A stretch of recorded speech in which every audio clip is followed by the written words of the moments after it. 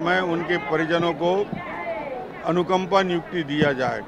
25 कर्मचारियों की मौत हो गई है। 2004-5 में 7-8 में 10-11 में, लगातार हम लोगों ने इनको रेगुलर किया दो दो साल के अंतराल में।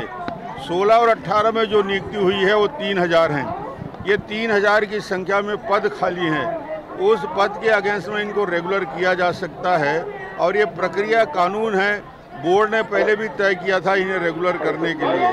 जानबूझकर इसको डिले किए जा रहे हैं। मैं आज इनके समर्थन में आया हूँ और इनके मांग को सरकार तत्काल पूरा करे, यही बात करने आया